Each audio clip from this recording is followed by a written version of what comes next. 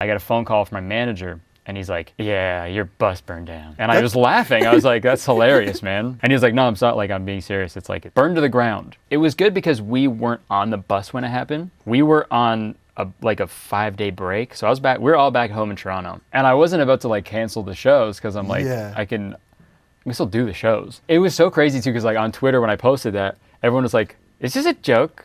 Are you joking? I don't, can't tell if this is a joke or not." And it's like, "What what's the joke? What's funny about that?"